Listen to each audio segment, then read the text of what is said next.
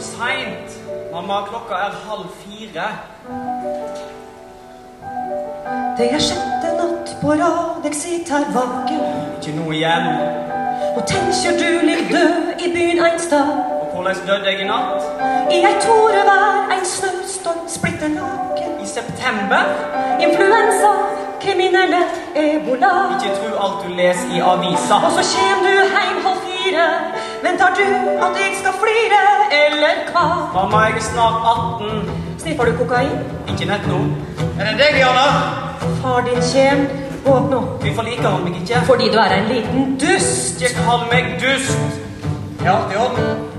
Uh, hvem snakker du med? Ingen. Jeg snakker med meg sjøl, det veit du jo. Gå og lege deg nå, jeg kommer straks opp for å ha sex. Er du sikker på at alt er i orden? Ja. Tenk å ha en flott familie som dette. Og jeg elsker deg så høyt som det går an. Ei geniforklåra dotter heilt fra vettet. Ein dust til sånn og ein drita kjelemann. Men jeg hjelper deg å halde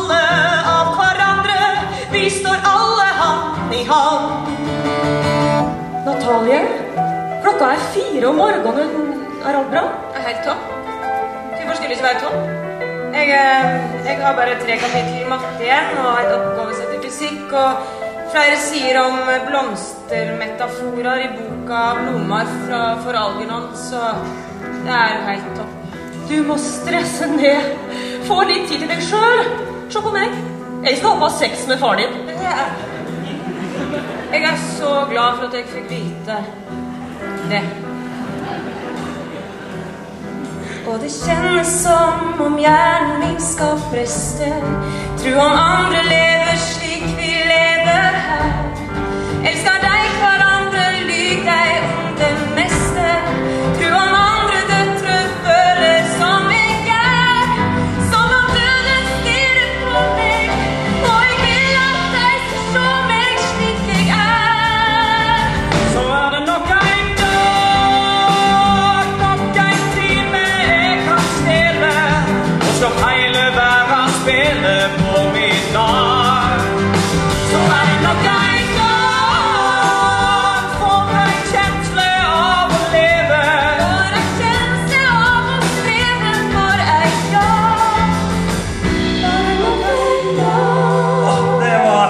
fantastisk, var det ikke? Å faen, jeg er seint ute. Ja, slik går det når det holder på i hele 60 sekunder. Hæ? Jeg sa, er det ikke en herlig morgenstund? Å ja. Jo, eh, jo. Ja visst, eh, altså Det er overskyet og regner og svinkaldt det være september, men ja Nydelig. En må bare kaste seg ut i en dag som den, ikke sant? Ja, absolutt. Jeg skjønner aldri hva hun snakker om. Det er du som må trå til når andre klager. Ikke gi opp før du legger deg med ei stund. Men du kjemper imot storm og våre dager. Og du lever på en latter og ei bønn. Du må ikke slippe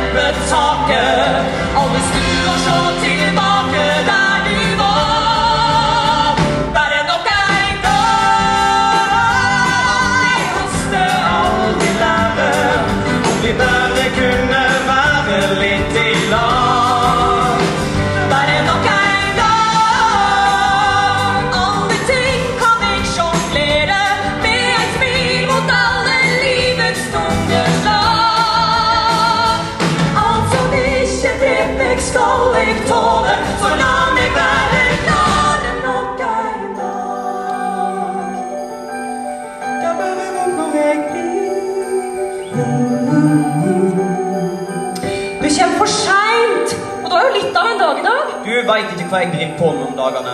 Bandøving, skolen, fotball, festing. Gratulerer. Kom deg av gårde nå, skynd deg. Det er bare vondt når han går. Hei, solstråle. Her er datoen for framsyninga mi. Tror du at de kan komme? Vi skriver det i kalenderen.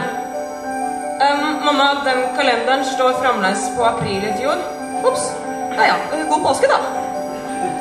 God jul. Hallo, hjelpen min.